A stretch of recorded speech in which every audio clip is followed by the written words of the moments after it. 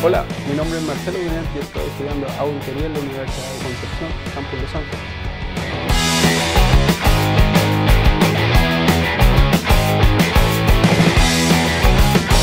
Ven a Lugar.